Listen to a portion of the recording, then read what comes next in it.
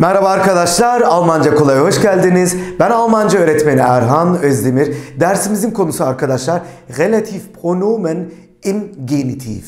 Dilerseniz dersimiz başlasın. Relatif pronomen dendiğinde ne anlamalıyız? Relatif pronomen arkadaşlar hatırlayacak olursanız biz bunu nominatif, akusatif ve datif hallerde görmüştük. Ne yapıyorduk arkadaşlar? Ee, bir açıklama vardır. Mesela burada olduğu gibi e, bu nominatife bir örnek. E, das ist der Mann, der in München arbeitet. Mesela böyle bir örneğe baktığımızda ne yapıyorduk arkadaşlar? Relatif pronomenden kasıt neydi? Buradaki artikelle beraber ne yapıyorduk? Refere etmiş oluyorduk o ilgili özneye. Dolayısıyla bir açıklama getirmiş oluyorduk. Genitife baktığımızda arkadaşlar genitifte ismin in hali. Ben bunu e, anlatırken daha iyi e, anlaşılması için nınkı, nunku şeklinde söylüyorum ki daha iyi otursun diye ki o zaman daha böyle bir oturmuş oluyor. Tabi güzel Türkçemizde bu böyle e, böyle bir e, durum yok. Tabii ki ismin in hali e, başlığı altında böyle bir durum söz konusu değil. E, çünkü biz bunu e, ne yapmış oluyoruz? İşte e, tamlamalarla değil mi? İsim tamlamaları şeklinde e, vermiş olduğumuzdan dolayı böyle bir başlık altında özel bir şekilde genitifi inceler gibi incelememiş oluyoruz. Bunun da sebebi ne arkadaşlar? Artikeller. Çünkü işte bu der, die ve das artikelleri olduğundan dolayı sürekli dönüşümler söz konusu. İşte duruma göre ne olmuş oluyor? Nominatifte kalmış oluyor. E, ismin in hal, e, i halini gerektirdiğinde akusatif oluyor öyle değil mi? Datif olduğunda dönüşüme uğramış oluyor. Burada ise arkadaşlar bu konu başlığı, bu dersimizin konu başlığı da e, relatif pronomen genitif olduğundan dolayı biz bunu genitif yani ismin in hali şeklinde inceliyor olacağız. Öncelikle diler, dilerseniz arkadaşlar genitiflikle bir bakalım genitiflikte ne gibi dönüşümler oluyor ona bir bakalım ve kısa bir e, bu daha önceden görmüş olduğumuz e, daha önceden görmüş olduğumuz relatif zetsi e, konusunu bir harmanlayalım. Ardından e, bu konu başlığındaki genitifteki halini bir inceleyelim. Dilerseniz öncelikle bir genitifteki dönüşüme bir bakalım arkadaşlar. Genitif demiş olduğum gibi az önce demiş olduğum gibi neydi? İn hali anlamında idi. Değil mi? İsmin in hali. Bakın burada ne oluyor? Der desene dönüşüyor. Bakın der demek ki ne oluyormuş? Desin oluyor. Diye baktığımızda deren olmuş oluyor. Das desen oluyor. Die plural yani çoğullarda deren olmuş oluyor. Tekrarlayalım arkadaşlar. Demek ki der desen oluyor. Die deren oluyor. Das desen die plural çoğul deren şeklinde karşımıza çıkmış oluyormuş. Şimdi e, genitif bu konuyu şimdi e, bir kenara atalım. E, önceden yapmış olduklarımızı şöyle bir tekrarlayalım ki e, relatif e, cümle dedikleri nedir ona bir bakalım. Az önce e, söylemiş olduğum gibi bakın burada bir nominatif bir e, durum söz konusu. E, cümlemize bakıyoruz. Das ist der Mann bu o adam diyor değil mi arkadaşlar? Der in München arbeitet. Bakın bunu güzel Türkçe'de yorumlayacak olursak ne deriz arkadaşlar? Ee, Münih'te çalışan adam bu deriz değil mi? Bakın ne kadar kolay olduğunu görüyorsunuz. Ancak Almanca'da artikel olduğundan dolayı bakın man artikelin ne? Der. E, dolayısıyla ne yapmış olacağım arkadaşlar? Buradaki der man referans olarak göstermem gerekiyor. Dolayısıyla derle refer etmem gerekiyor. O adam diye değil mi? Bakın ki o Münih'te çalışıyor gibi düşünelim. Yani e, bu o adam ki kim ki gibi de düşünebiliriz. Münih'te çalışır gibi. Evet. İkinci cümleye baktığımızda arkadaşlar Das ist der Mann, den ich. Evet. Kennen neydi arkadaşlar? Tanımak demekti ki onu tanıyorum gibi düşünebiliriz bakın arkadaşlar. Bu sefer gene deman den eşkene bakın burada bir referans var. Ee, üst cümleye baktığımızda burada nominatif bir durum vardı. Bakın e, ne yapıyor ne yapardık? Mesela bu şu virgülden önceki cümle olmamış olsaydı ne olurdu? Deman arbeitet in München derdik ve nasıl bir cümle olurdu? Olağan nominatif bir cümle olurdu. E, dolayısıyla e, ben bunu e, ne yaptığımda, relatif e, zats yaptığımda e, bu şekilde yorumlamam gerekiyor. Das ist der Mann, der in München arbeitet. Ancak ikinci cümleye baktığımızda arkadaşlar kennen neydi? Tanımak demekti. Birisini tanımak derken ne yapıyorduk? İsmin e, iyi hali yani akusatifi kullanmam gerekiyordu. Der ne olacak? Den olacak. E, dolayısıyla das ist der Mann, den ich kenne. Bu o adam, onu tanıyorum. Ne derim güzel Türkçemizde? Ee, tanıdığım adam o derim. Bu kadar kolay değil mi? Ne kadar güzel bir e, dilimiz var. Türkçe'ye ben aşığım. Ancak Almanca'ya baktığımızda bakın ne olmuş oluyor? Refere ediyorum değil mi? Çünkü bir, bir şeyi adres gösteriyorum. Das ist der Mann, den ich kenne şeklinde ne yapmış oluyorum? Akusatif olarak e, yorumlamış oluyorum bu durumu.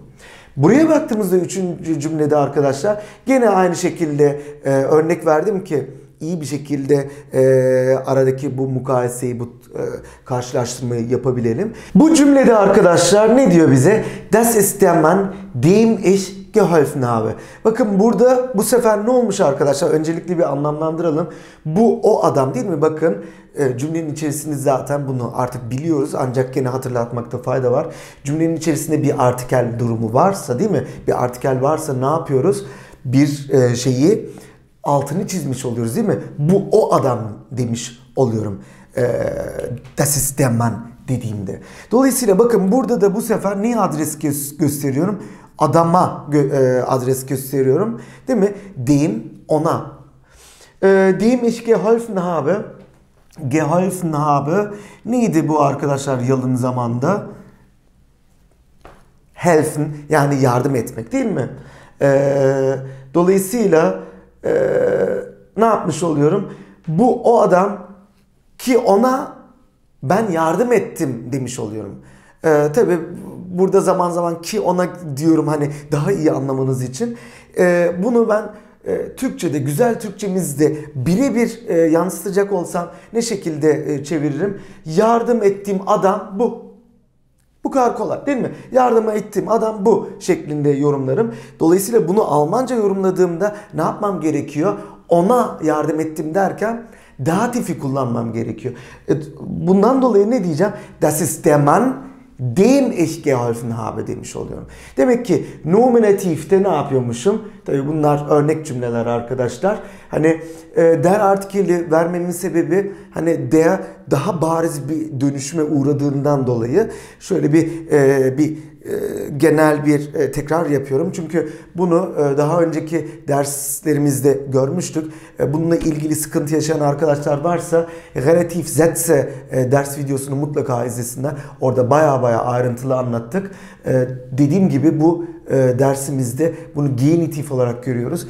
Kısa bir tekrar olarak algılamakta fayda var. Dolayısıyla burayı bir toparlayalım isterseniz.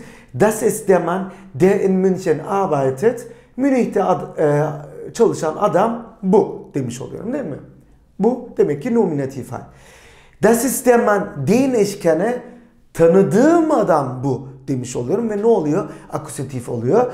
Datiflikte ne oluyormuş? Das ist der Mann, dem ich geholfen habe. Yardım ettiğim adam bu demiş oluyorum. Şimdi de arkadaşlar dilerseniz genitife bir bakalım. İlk örneğe bir bakalım arkadaşlar. Bu e, örnekler e, daha doğrusu alıştırmalar, boşluk doldurma e, alıştırmaları. E, evet ilk örneğe baktığımızda ne diyor bize? Das ist die Dame. Evet die Dame neydi arkadaşlar? Hanım anlamına geliyordu değil mi? E, boşluk verilmiş. Man im Ausland arbeitet. Bakın ne diyeceğiz? Im Ausland yurt dışında demek. Arbeiten de biliyoruz artık neydi? Çalışmak demekti. Bakın bu e, o kadın ki onun kocası e, yurt dışında çalışıyor. Yani yurt dışında çalışan kadın işte bu o anlamına gelen bir e, cümle. E, ne yapacağım şimdi burada? Burayı dikkate alacağım. Yani bunun artikeline dikkate alacağım ve buna göre cümlenin devamını getireceğim. Şimdi die Dame denildiğine göre genitiflikte nasıl bir e, dönüşüm oluyormuş arkadaşlar? Die deren şeklinde yorumlanıyor. E, dolayısıyla bu e, o hanım ki onun kocası yurt dışında çalışıyor derken demek ki ne olacakmış? Deren olacak değil mi? Ne diyeceğim o zaman? Das ist die Dame, virgülümü koyuyorum. Deren Mann im Ausland arbeitet. Onun kocası demek ki yurt dışında çalışıyormuş demiş oluyorum. Mutlaka ne yapıyorum? Die Dame'yi dikkate alıyorum. Genitifi e, işin içerisine kattığımda ki aslında bu bir tek genitife has bir şey değil. Nominatifte de, akusatifte de, datifte de ne yapıyorduk? Virgülden önceki e, kişiyi ya da işte obje de olabilir belki bu öyle değil mi? Ne yapmış oluyorum? E, referans olarak almış oluyorum. İkinci cümleye baktığımızda Das ist der Mann evet bu o adam boşluk şeklinde Frau Archäologin ist evet onun karısı arkeologin evet arkeologin arkadaşlar Türkçe'de de e, arkeolog anlamına gelen değil mi? E, arkeologin şeklinde arkeolog e, olarak karşımıza çıkmış oluyor. E, demek ki burada şimdi bu sefer e, ne yapacağım? Bakın burada didameyi dikkate almıştım. Burada demanı yani adamı dikkate alıp e, ne yapmam gerekiyor? Bu durumu genitif olarak incelemem gerekiyor. Dea'da ne oluyormuş? Desin oluyor. Demek ki onun eşi değil mi? Onun karısı derken ne yapacağım? Der Desin'e dönüştüğünden dolayı Dessen Frau diyeceğim. Öyle değil mi? Dolayısıyla ne diyeceğim o zaman bu durumda? Das ist der Mann, dessen Frau Archäologin ist. Demek ki onun karısı arkeologmuş. Bakın ne yapıyorum? Burayı dikkate almış oluyorum ve cümleyi ona göre devam ettirmiş oluyorum. Sonraki cümleye bakalım arkadaşlar. Das ist das Kind, gene boşluk, Lehrerin meine Cousine ist. Evet, bu o çocuk ki onun, evet, Lehrerin neydi? Öğretmen demekti. Ki onun öğretmeni meine Cousine benim kuzinim değil mi? Benim e, evet dişi değil mi? Meine Cousine demek ki e, dişi durum olduğundan dolayı bu erkek kuzen e, denilecek olsaydı ne olurdu? Mein kuzen şeklinde karşıma çıkardı. Dolayısıyla burada ne demiş oluyoruz? E, das Kind'e baktığımızda das neye dönüşmüş oluyor? Bakın burada tıpkı Dea'da olduğu gibi desne dönüşmüş oluyor. Onun öğretmeni diyecek olursam ne diyeceğim arkadaşlar bu durumda? Desin demem gerekiyor. Öyle değil mi? O zaman ne diyeceğiz demek ki? Das ist das Kind, dessen Lehrerin meine Cousine ist diye yorumlamış oluyorum. Dilerseniz bu öğrenmiş olduğumuz yapıları doğru telaffuzuyla tekrarlayalım. Das ist die Dame, deren Mann im Ausland arbeitet. Das ist die Dame, deren Mann im Ausland arbeitet.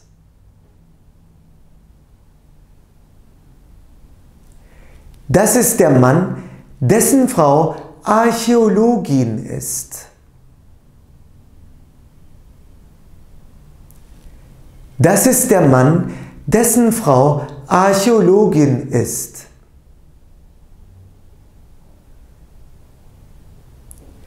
Das ist das Kind, dessen Lehrerin meine Cousine ist.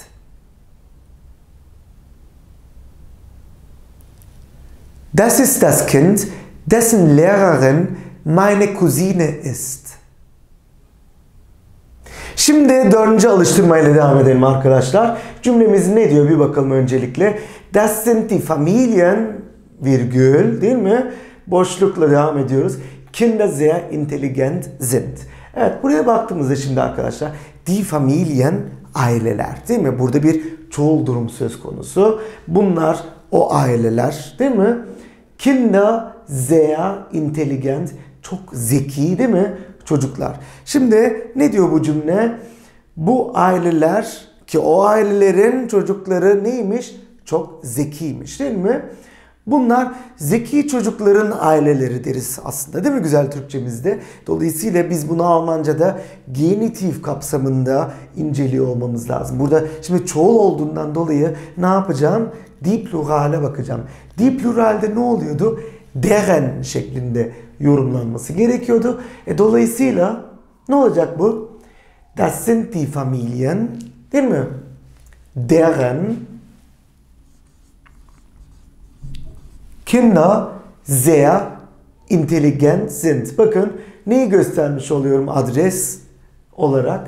Die Familien. Demek ki bu ailelerin çocukları derken deren Kinder demiş oluyorum. Mutlaka ama mutlaka arkadaşlar relatif cümlelerde hangi durum olursa olsun işte akusatif olsun, nominatif olsun, datif, genitif hiç fark etmez. Virgülden önceki durum çok önemli. Bundan sonrakinin artikelini dikkate almıyorum arkadaşlar. Burada e, tabi e, başka e, durumlar da söz konusu olabilirdi. Ancak burada e, ailelerin dediğimden dolayı ne demiştik zaten? ismin in hali demiştik. Ne yapıyorum? Burayı dikkate almam gerekiyor. E, dolayısıyla ne diyeceğim burayı toparlayacak olursak? Das sind die Familien, deren Kinder sehr intelligent sind. Sonraki alıştırmaya baktığımızda arkadaşlar bakın burada e, şöyle bir durum var. Ne demiş? Der Student neydi student? Üniversite öğrencisi değil mi? Virgülle ne yapıyorum? Cümleyi bölmüş oluyorum. Aslında bakın burada iki tane virgül var. Dolayısıyla burada bir açıklama getirilmiş oluyor. Nasıl bir açıklama? Vater Lehrer ist, hat sein Studium in Berlin absolviert. Bakın virgülle ayırmışım. iki tane virgülle. Dolayısıyla burada bir ne yapıyorum? Bir ek bilgi vermiş oluyorum. Ne diyor? Bu e, işte öğrenci ki onun babası öğretmen. Bakın bilgiyi verdim. Virgülle ne yaptım? Devam ediyorum. Hat sein Studium, Studium neydi arkadaşlar? Üniversite eğitimi değil mi?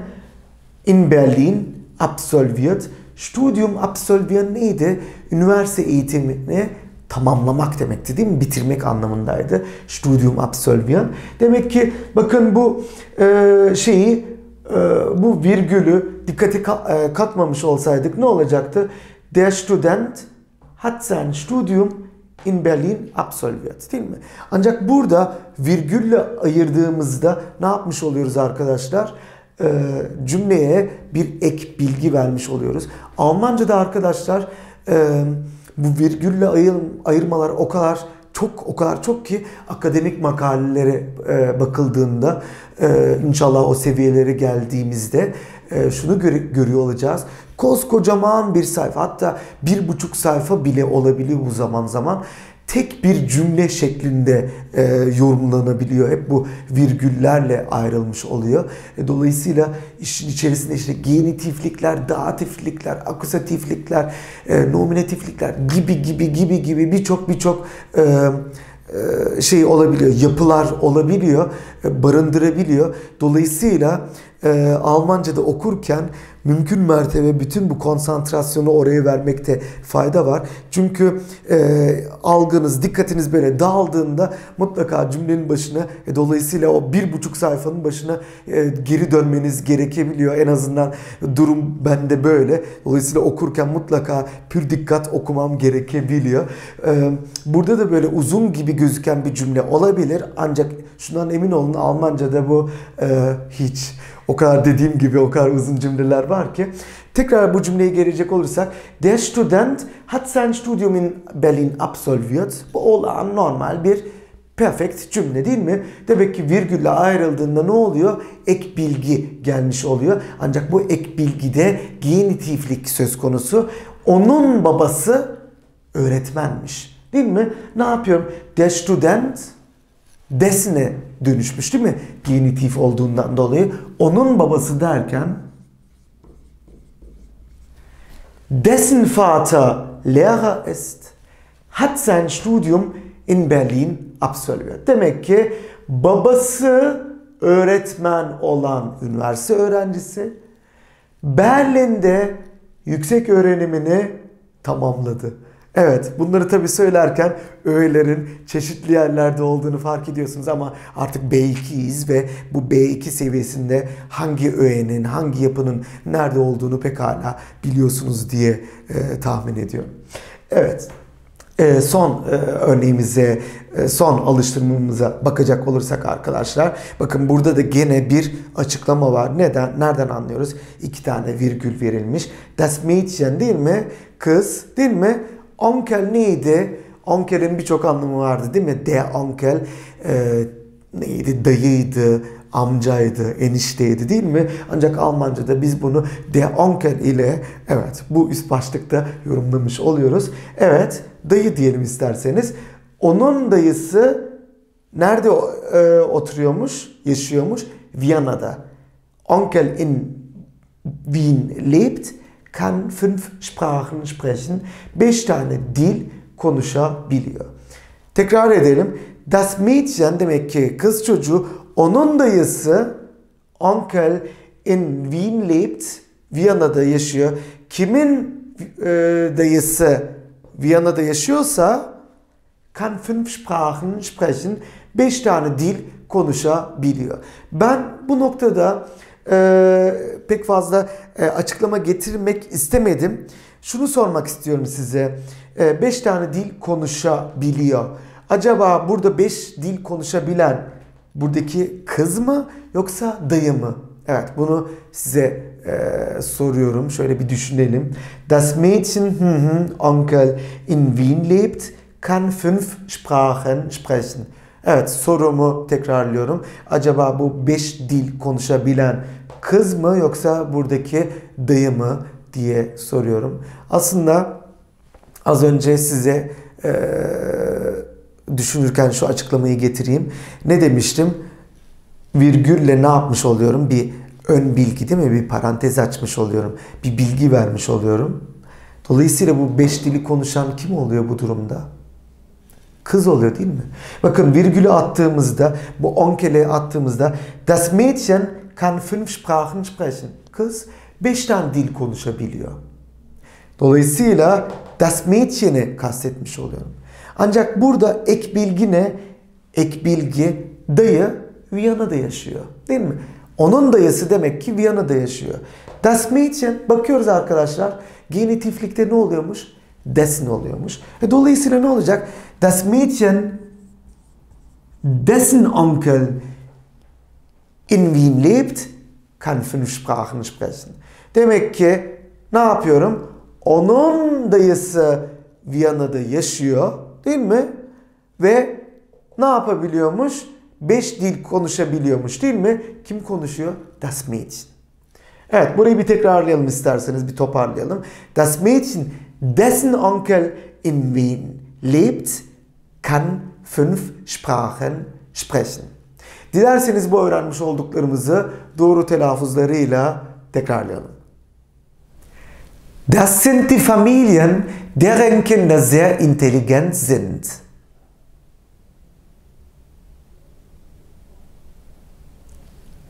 Das sind die Familien, deren Kinder sehr intelligent sind.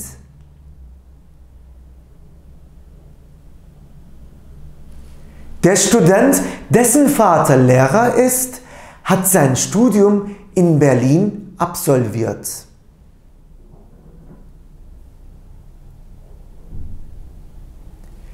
Der Student, dessen Vater Lehrer ist, hat sein Studium in Berlin absolviert.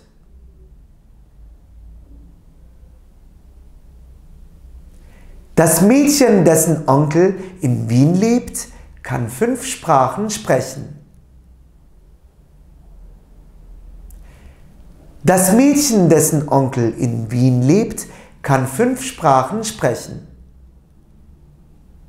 Bir dersimizin daha sonuna geldik arkadaşlar. Bu dersimizde relatif pronomen im genitif konusunu görmüş olduk. Sonraki dersimizde görüşmek üzere diyorum. Hoşçakalın. Tschüss.